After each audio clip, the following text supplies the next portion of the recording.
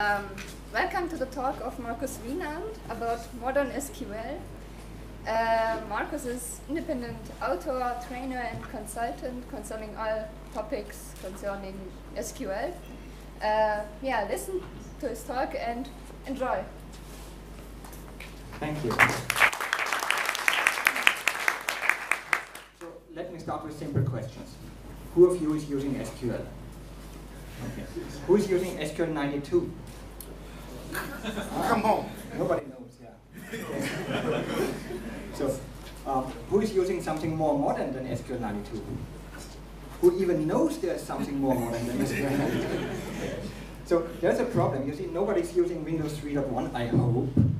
Is anyone using Windows 3.1? Uh, there's always one.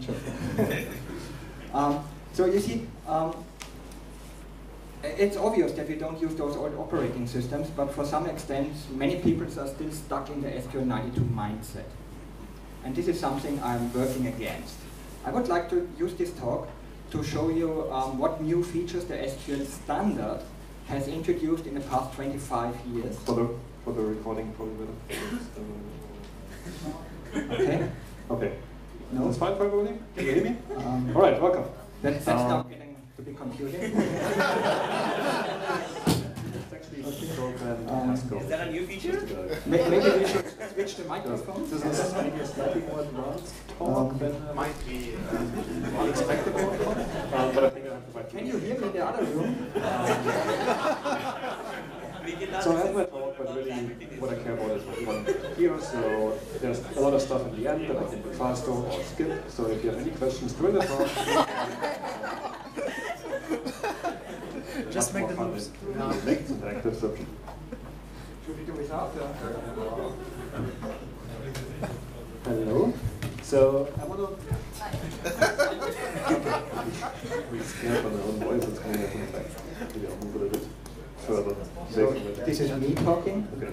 I just have to be louder than the other ones. That's. Better uh, for me. So- not sure it's better for you.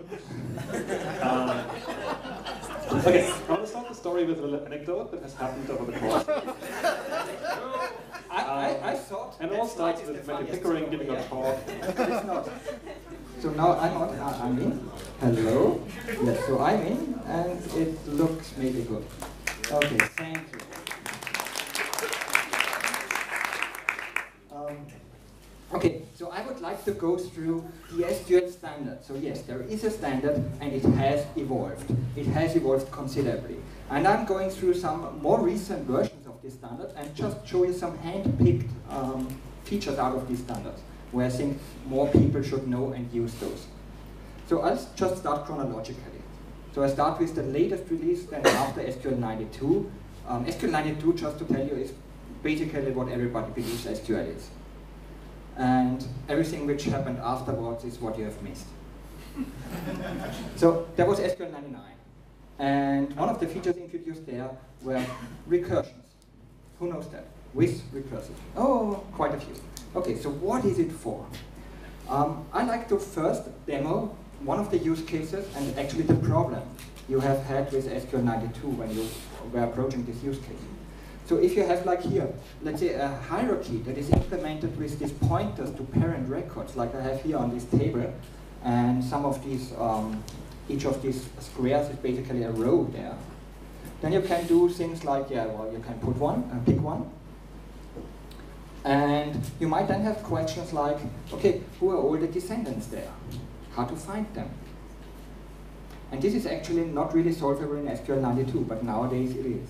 And I would like to show you uh, how that works nowadays. So the first step is quite easy. You just pick the starting point. If you have the, the idea of that, let's say uh, maybe 42, um, you just pick that one. And then is the question how to find the child. And the first step is still quite easy because SQL 92 has union. So we can add more results to the same result set. That's easy. Because here we can use basically the same ID, the same 42, but instead of looking for the, uh, um, for the ID column, we are looking for the parent. And then we have the next level of, of child. But you see, it only goes that far. I cannot do a second union because I don't have the pointer to the grandparent. That's just not there. What we actually need to find the full, the full hierarchy is we need to somehow get the result of this query into that query again. And this is basically what you can now do. And the syntax is quite simple. It's not a lot. It fits there on the screen. You can basically copy and paste this into any modern database and it will work. And it does exactly what it does. So um, you have, of course, the self-reference is a little bit tricky. You do a, a join there with this pref, which is, which is just a name to the result set. And then you have this indirect pointer there, which means I'm processing my own output in the very same query. And then I'm doing hierarchy for hierarchy, step for step. I'm just finding the next um, items there. And you will get one long result where all uh, those items are in there. And this was introduced with SQL99, and you could basically use it. Um, that's just one of the use cases, of course. It's a rather simple one. The general use case of this um, is processing graphs in any kind. So you can you can implement pretty much every algorithm um, for graph processing in SQL by now. It doesn't always make sense, I must admit, but you can. And there are even papers analyzing performance behavior when they compare SQL solutions to more specialized solutions like Neo4j or some, some graph um, language. And they find in some cases when the data gets big, um, they might even be faster in SQL databases because when you implement the same algorithm in multiple environments, when the big O notation is basically the same, what makes the difference are the implementation details. And when it comes to big data, databases are quite well optimized for these cases. So there are some cases where it is even faster than in a specialized uh, graph database. Um, another use case which I use quite often actually is to find um, distinct values. You can basically just hop through a sorted result and just find the next distinct value very fast. So there's an article on the internet on a Postgres wiki for that. And another one is row generators, just generating rows out of nothing, most commonly used to generate test data. So if you need a million rows, just, just do this query, and it just uh, generates your million of rows, and you can do your tests and whatever. So this was introduced with SQL 99 into the international standard. And yeah, the international standard is basically just a, a pile of paper. Well, not even, it's just a PDF to download. Um, what does, do the vendors actually do? And there you see I have checked um, seven databases. And in the meanwhile, if you look at our good friend MySQL, in the meanwhile, even MySQL has learned that SQL did not stop to evolve with SQL 92. So this is just one feature out of this SQL 99 standard. There are many, many more features, but uh, yeah, my slot here is limited. So I go on to the next standard release that was then introduced. It was 2003. And this was actually a really big one. So there were window functions. Who knows window functions? Who loves window functions? Even more. Yeah. Who understands window functions? uh, okay. uh, it's actually not so complex. Um, I have separated into three distinct um, topics, subtopics for window functions. I start with the partition by basically. But before I start with that, I will again highlight what is actually the problem. What was the limitation in SQL 92? And it turns out um, SQL 92 has combined two concepts which are actually independent of each other. And the one is that you can merge rows that have some common attributes basically. So you can do this with group by or maybe with, with distinct if all of the attributes are the same. And the other concept is aggregations, like sum, min, max, and so on. And they are actually intermingled, as you see.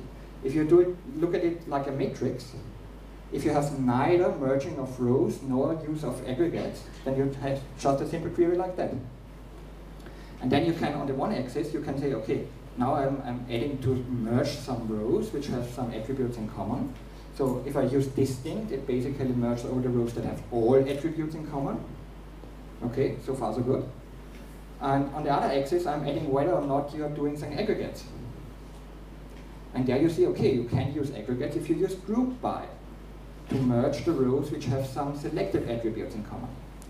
So far so good. What about the gap?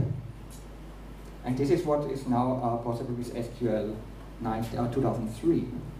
So the old solution is really beautiful.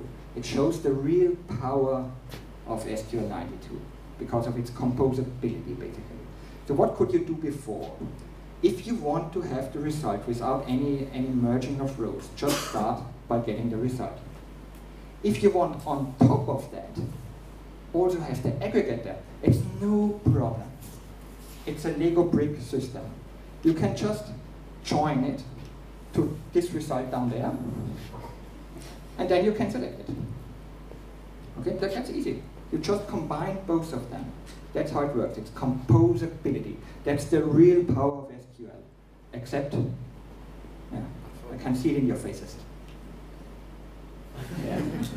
Of course, just because you can does not mean that it is a good way to do it. And this is the, the big um, distinction we have with SQL 92 and what came later on. Later on, there, we have most of what came later on is just um, yeah, well, making, making things more handy, more practical, and also faster for runtime. So nowadays, the same query basically looks like this. You use the aggregate function without any um, group by, and instead of using group by to specify over which rows the aggregation shall be done, there's a new clause, the over clause, to specify over which rows the aggregation shall be done. So I would like to put that into more detail because it's really, really, really important. So if we start with a simple query and the result it may return, the first step is basically the comma. Because all I want to do is add another column. This is most of the time when you're using window function, you're just adding another column. You're post-processing the result you already have. And if you want to use an aggregate function, okay, go ahead, take it. And if you don't want to use a group by at the same time, then you have to use instead of group by another way to specify over which rows the aggregation shall be done. over which rows. That's the keyword, over. And even the one you see there with the empty parentheses, it's already valid. It means over everything.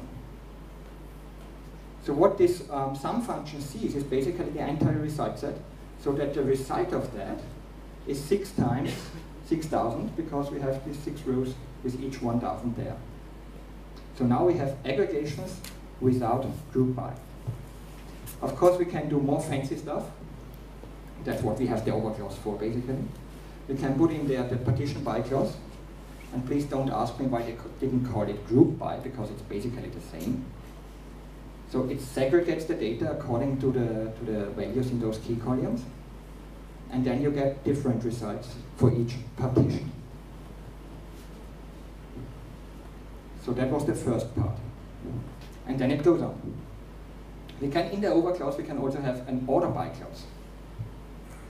And that's, that's kind of funny if you think of, of those aggregations we know, like min, max, sum, and so on. If, if you stick to sum, I mean, the last time I checked 1 plus 2 and 2 plus 1, it kind of gave me the same result. So uh, why should we order anything there? And that's not the point about it, this order by clause. The point is not about sorting the result. In some cases it is, but not in most cases. The point is to establish a dialogue with the database. Hey database, I'm gonna tell you something and I'm gonna use some words like before and after. And when I use those words, then I refer to that order that I'm specifying there. I'll show you. Um, again, a query and the result it might give you. And I would like to add another column. These are basically transactions, like banking transactions, like deposit of 10, deposit of 20, withdrawal of, of uh, 10, and so on. And I would like to add another column that gives me the balance as of each transaction. So in the first one, it's then basically 10, then it turns 30, and then 20 if I take something out, and so on, and so on, and so on. So how to do that in SQL? composability. You could just put a subquery there in the select clause. Yeah, yeah, you could. this is not the way you want to go. Um, uh, it works. It was the valid solution until SQL 2003 basically, um, but it has a lot of redundancy. So if you have where clauses in a main query, you need to repeat them in the in the uh, in the, sub, in, in the nested query. Um, you have to be damn careful that whatever you have in the order, you properly phrase there in the range condition. So uh, it's tricky, and of course it's slow. So I would like to transform this into what I have just told you. Whenever you want to use an aggregate function but no group by, This is the trigger you need to remember. Then the overclause is what you like to do. And here we come to the framework, of course. So we want to aggregate something using sum, and instead of group by, we want to use over. And now is the question, how could I uh, express this, what I want to aggregate over? I cannot use partition by here, because partition by segregates on same value, on, on not distinct values basically. And this is where the order by clause comes into the game. So first of all, I establish this order and tell database this is the order I'm referring to, basically chronologically in that case. And then I can use terms like, I would like to aggregate the rows between unbounded preceding, whatever came before, and the current row. Within this range, this is the range of rows I would like to provide to the sum function. And of course, in the very first row, this is just the first row itself. So it just gets the first row, the 10, and the result is 10. And at the second row, it's the first row until the current row. So two rows already. And so on, and so on. And this is how we do that nowadays. Yeah, there's just one problem. I was mixing actually um, your account, your withdrawals, with your deposits. Because I forgot there's account, an account thing as well. But that's of course no problem because we can still combine that with partition by. And partition by um, isolates each partition from each other in a perfect sense. You cannot break out of a partition in that way. So you get it now on per account, account basis. So this is really the use for this order by in, in the overclause, and this is called framing. Um, but once we have an order, a different set of functions starts to make sense. And this is basically functions like this, like row number, rank, dense rank, and a few more, like percent rank, units. You see, you can now do, you can now leverage that order for other reasons. So there are other functions to use there as well. So to put that into a nutshell, what are the use cases for that? Whenever you want to do an aggregation but don't want to use group by, over is the answer. Remember that. This will be at the exam at the. Um, running totals, I've shown you. Moving averages is just something different. You can also say it's like rows between three preceding and three following, no problem.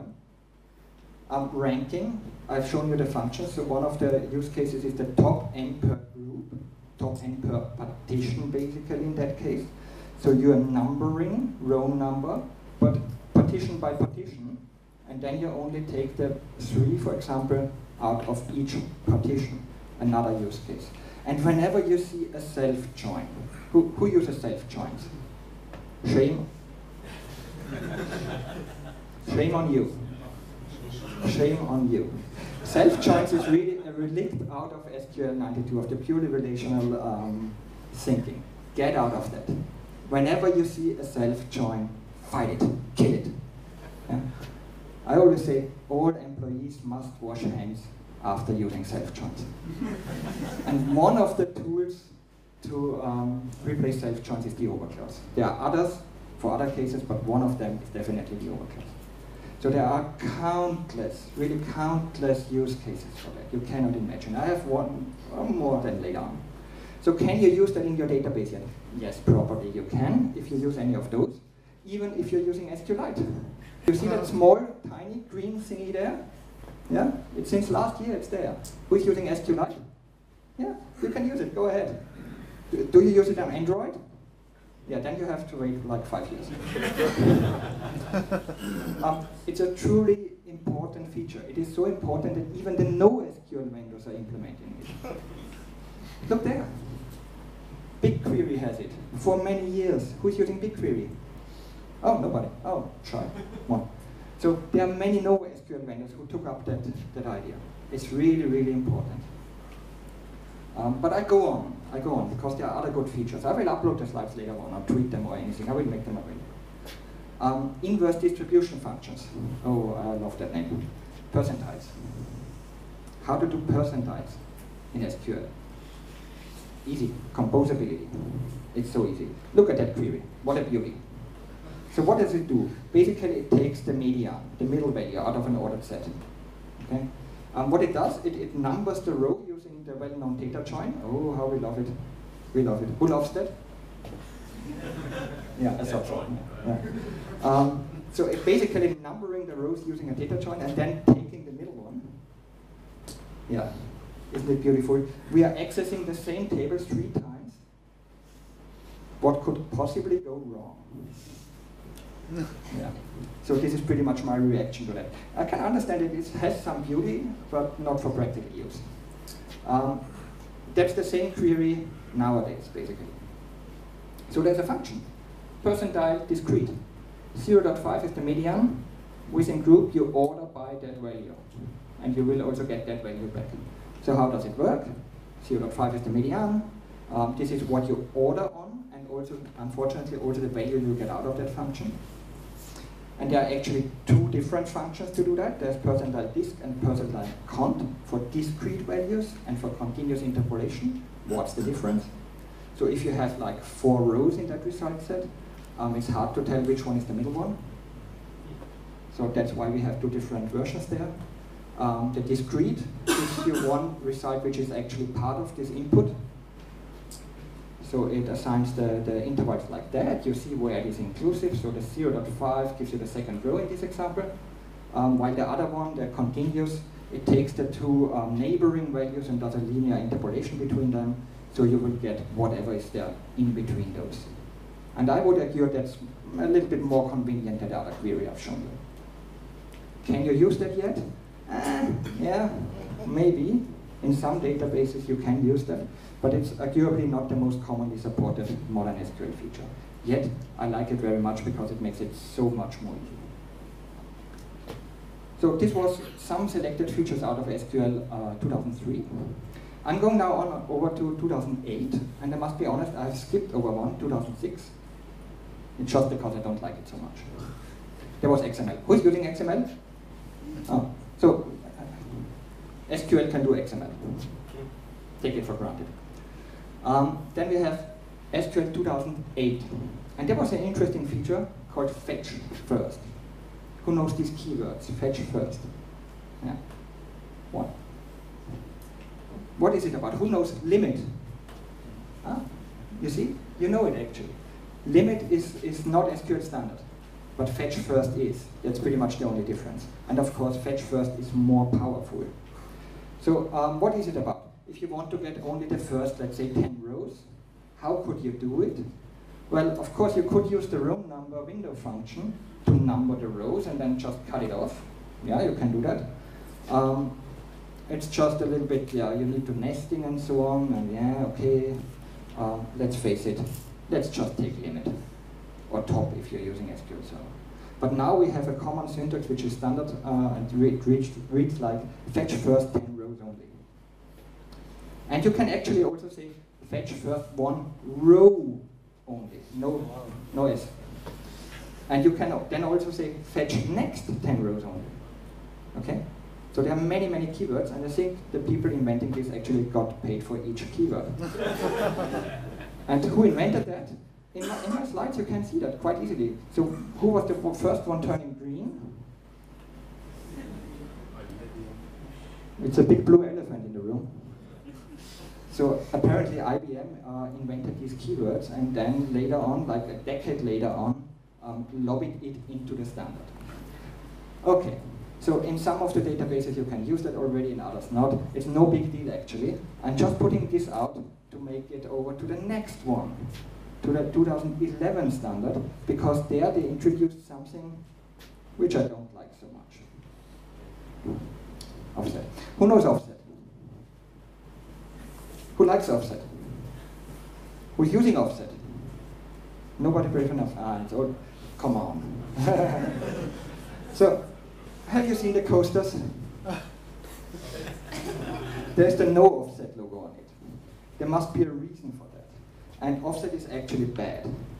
I, I say all employees must chop off hands after this. There's actually really no excuse. Um, so what, first of all, what is it doing? And then I will briefly mention the problems. So what it is doing, it, it's throwing away some data which you yeah, had the effort to actually get it. It's typically used for pagination queries, like show me the first 10 rows, the next 10 rows, and so on and so on. Unfortunately, it is wrong. It gives you the wrong result for pagination queries. Because it is just the wrong approach to tell, I have seen 10 rows, and then using later another query to say, okay, the next 10 rows must be the one after the first 10 rows. That is only true if the data hasn't changed in the meanwhile. If it did change, then everything is pushed, and it's not valid anymore. So you're not getting the correct result. And on top of it, of that, it makes it slow your query. The bigger the offset, the slower the query.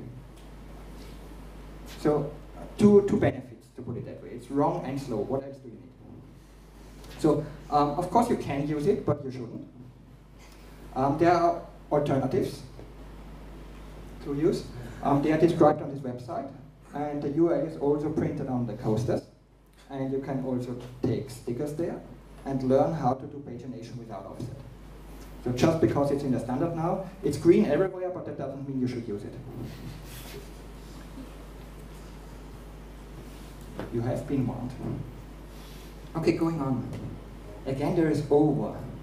We have already seen over before, and it doesn't stop.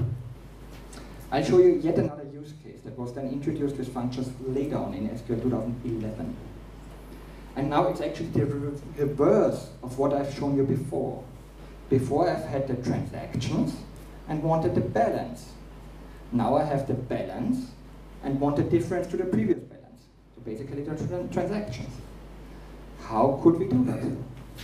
And there's actually, if you use window functions, there was already a pretty easy solution to that. It's just you have to use this framing feature in a, in a fancy way. So it starts with an over clause. You establish some order by, of course. And then you can basically say rows between one preceding and one preceding. And this is not a typo. One preceding and one preceding. That's just the previous row. That's what you want to look at.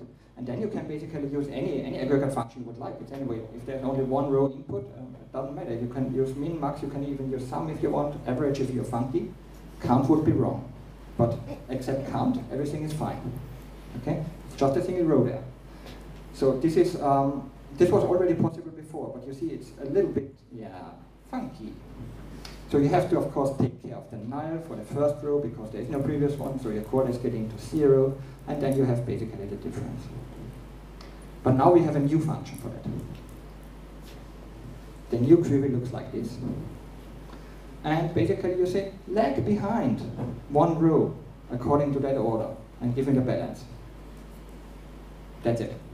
Just previous row. You can directly access now any row out of the, of the result basically. And if there is a function like lag, there is of course also a function like lead. You can look down into the future, so to say and use the next row's value already in this row. And there's first value, there's last value, there's nth value. You can ignore nulls, you can respect nulls, you just have to tell. And that's there as well. And pretty much every database is supporting the basic foundation of this, so lead and legend, for example. The nulls first, nulls last is not so widely supported, but you barely ever need that. It's, it's not really the most important feature. So you can use that as well. And then there was the big feature in SQL 2011. System versioning. Who knows system versioning? Who knows temporal tables? Temporal, not temporary. Temporal. Yeah? Okay? This is what it is about. I'll show you. Um, the problem or the critics basically of, of SQL 92 was also that um, these writing operations, they are destructive. The old data is gone. No way to recover it. Maybe from a backup, but not in a, in a SQL-ish way. And this has been changed. Now you can declare that a table shall be system version, for example. And the way you do it, um, yeah, well, you take just any normal table, you provide some meta columns, like here I've called start TS for start timestamp, it's a timestamp type. And I use a special syntax, generated always as row start. And this instructs the database, database, take care of this row, and whenever the validity of this row starts, put that timestamp in there.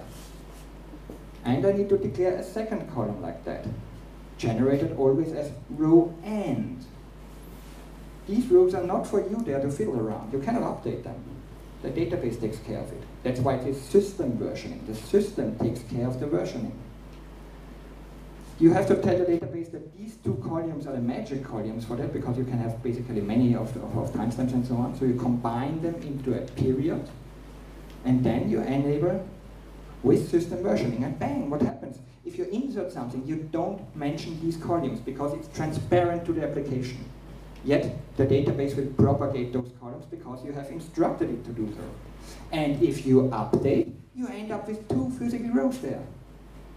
Two physical rows. And the validity is set automatically by the database. Obviously, if you delete it, no surprise, it's not really gone, it's just not visible anymore. And of course, it's transparent if you query it at any time in the normal way, you will just see it in the normal way. So if you query it after deleting it's gone. You get an empty result. But as the data is still there, there's a distinct syntax to actually access it. So in the from clause after the table name, you can say, I would like to look at that table as of that timestamp. And then you see it as of that timestamp. As simple as that. Fully automatic. Can you use that yet? Uh, in some databases. So um, I'm really, really happy MariaDB is now there. There's healthy competition between MySQL and MariaDB by now. You see they are, they are introducing new features and putting pressure also on the open source databases. So is, is anyone using MariaDB here? Yeah, you can do it. Go ahead, it's for free. Okay, so this is one of the temporal features in SQL 2011. There's also the other one, the application versioning, but this is a little bit, um, yeah, not the scope of this talk today.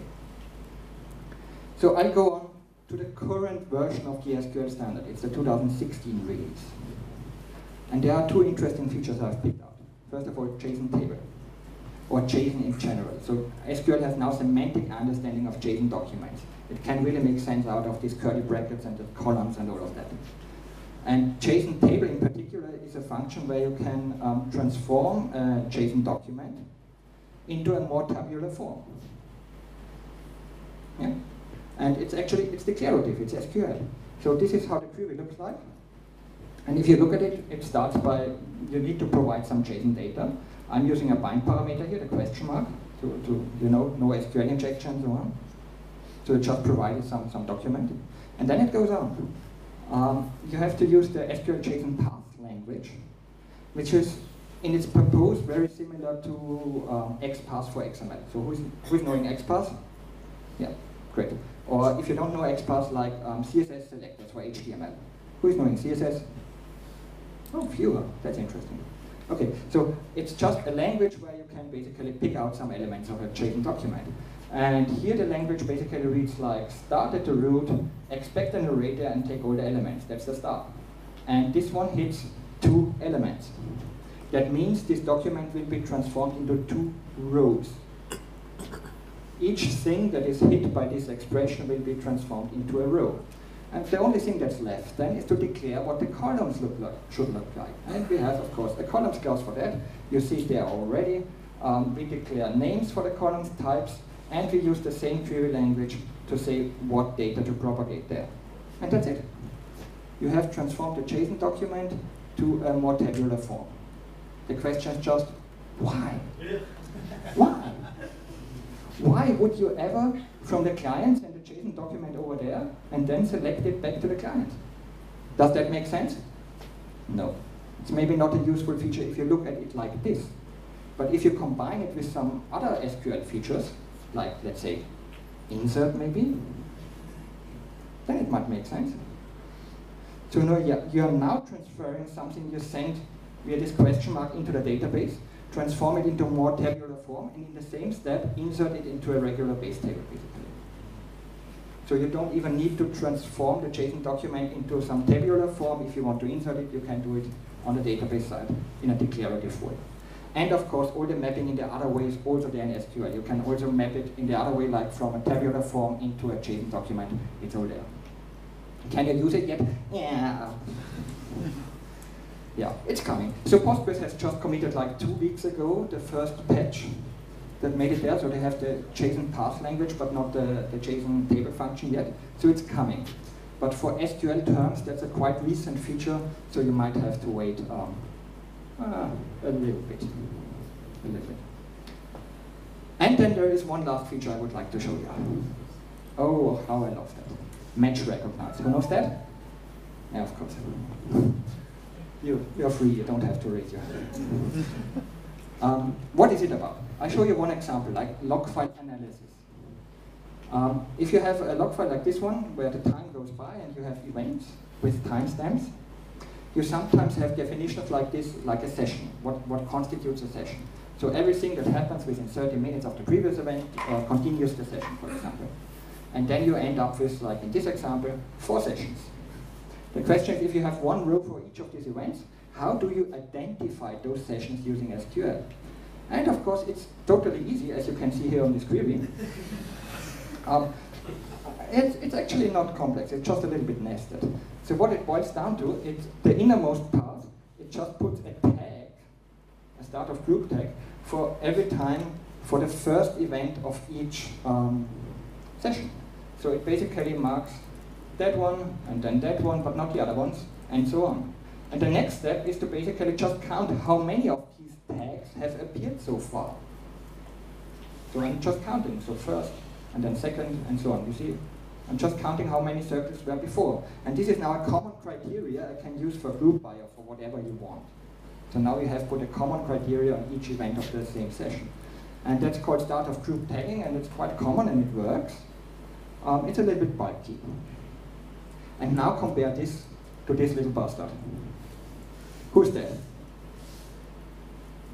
This small boy. It's a regular expression. What do you think? Who would win, the regular expression or the previous query? Yeah, it's a teaser, the regular expression. So who knows regular expressions? Yeah, that's, that's what we are using it. Many people know that already. Um, regular expressions are designed to work on characters.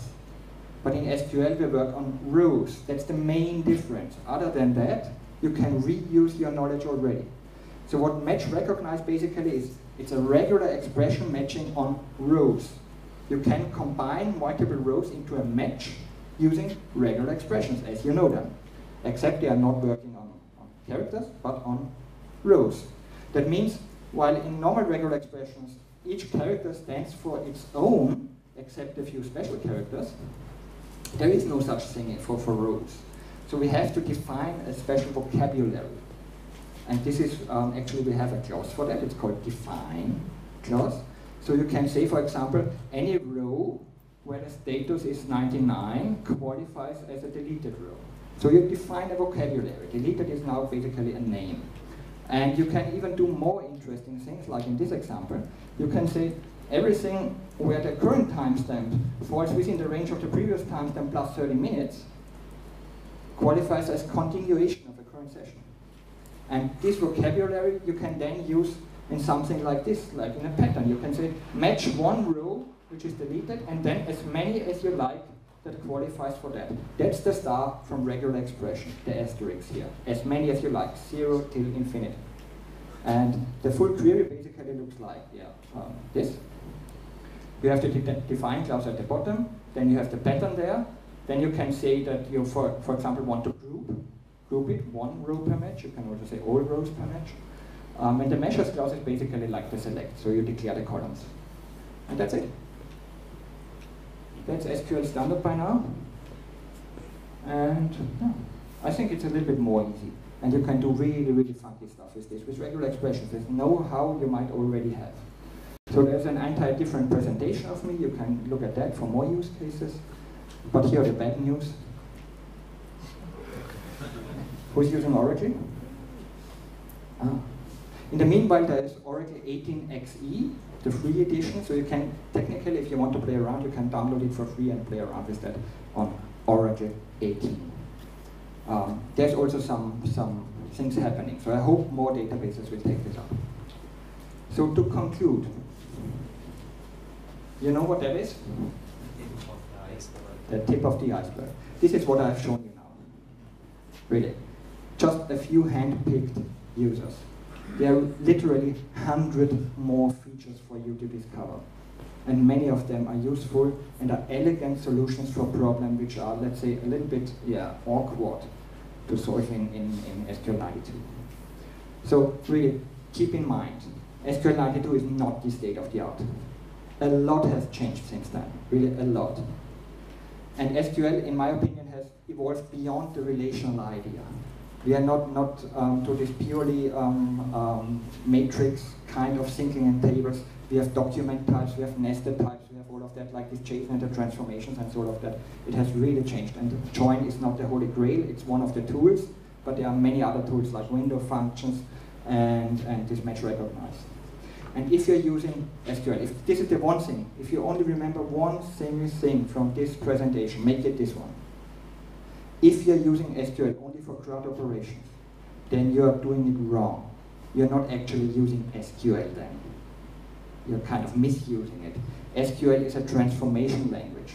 You can see you can transform some data in some funky but still easy ways. And you can apply algorithms like regular expression matching and all of that. And it makes really sense. So please, stop using it just for CRUD. Um, so why is it modern SQL? Modern SQL is just my name I made up for this, this, yeah, you need to know everything that happened after SQL 92. It's a website of me, you can, you, know, you can take stickers, there are stickers. You can follow it. So I'm blogging about these topics. You will find these slides and more slides on modernsql.com. And yeah, I have another website called Use The Index, Luke. It's the cutest GDI squirrel on the world. You see that one? There are also stickers and it's on the coasters. So grab them if you like them and follow these sites if you're interested in more of these. So then we do have some time for questions? Yeah. Yeah. So any questions? Yeah. First, let's.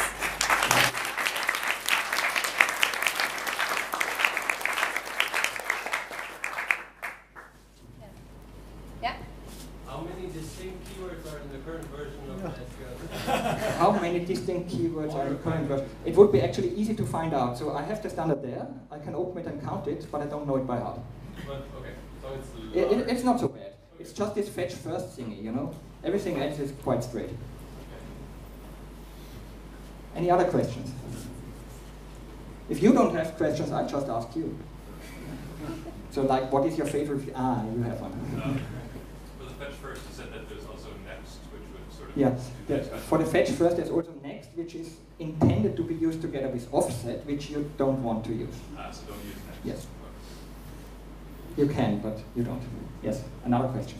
Um, do you claim that you have uh, actually read the standards uh, from start to finish? Like the last standard is more than 1600 pages long. Yeah. So do I claim that I read the standard from beginning, from cover to cover? No, I don't. Um, what I say is other standards, uh, other people study the Bible. I study ISO 9075, um, which is the standard version basically. Um, all parts together is more than 5,000, no, 4,000 pages about. No, I don't. And one of the aim of this modern SQL website is actually so that you don't need to. I'm putting it in more accessible terms there. But I'm studying it, I'm not reading it. I'm, nobody ever did. It's, li- it's like, nobody ever. Pretty sure. And there's no single vendor who supports full of the standard. It's impossible, I think. Okay, at the back? Which, which database is most standard compliant? Which database is most standard compliant? Out of those I'm testing here, it's Postgres. And there was another question? Yeah, so how are we gonna educate people to use more of these modern features? And it's, well, maybe by having these Yeah, websites, but so how to educate people to make use of it? spread the word? Go, go to conferences, talk about it, Yeah. um, tweet about this, take stickers. I don't have a better answer, yeah? not a question. So if SQL is so powerful, how, how do you figure out which parts to implement in SQL and which you implement in the accessing programming language? Or So again, I did, like how, how do you figure out which part of your program to implement in SQL and which Ah. of it to implement in how, to, language? how to figure out which part of your program to implement in SQL and which part to do in some other, other programming language. Um, well, that's out of experience. You cannot decide that if you don't know what SQL can do. So you first have to know what SQL and in particular your SQL database can do, and then you can also decide um, whether it makes sense or not. So for me, it's quite easy because I know all of these features and how they work. But of course, for somebody who doesn't know what SQL can do, it's impossible to decide. So you have first to learn them, or at least to get some teasers like this one, and But then Is there like a hard line where you say, I possibly could implement it in SQL, but Yes. So there, there are some things you could implement in SQL, but I won't. Um, when it comes to graph processing, quite often, so these recursive algorithms and so on, um, you can do it, but it doesn't always make sense. Um, yeah, there, there's some experience, and there is no sharp line where you can say, okay, this is the red line, so far, no further. It's really like, yeah. Okay. Last question. last Okay. question. So um, maybe there's a reason why many people are sticking to SQL 92. So um, I mean, many vendors have their own proprietary extensions, and uh, uh, if you if you want to do anything that is advanced, then you're sort of get into the rut of Mm. using these extensions, and then you're sort of stuck. Yeah, the vendor lock-in Yeah. argument. This is what I'm fighting with the website. So I make the differences visible. Um, imagine, who knows, can I use the, the site for CSS? That's what I'm working on for S- SQL. And the vendors, it, it already starts working. They see that sometimes all other vendors are doing it, but they not. They are following me, I know that. Um, so I'm working on that. Uh, the help I actually need is to spread the word about it. So that was the last question, so thank you. Um, I have to clean up the desk, I will leave that one here for a while. You can also take it later on. And the next one is Uh, already waiting. Yeah.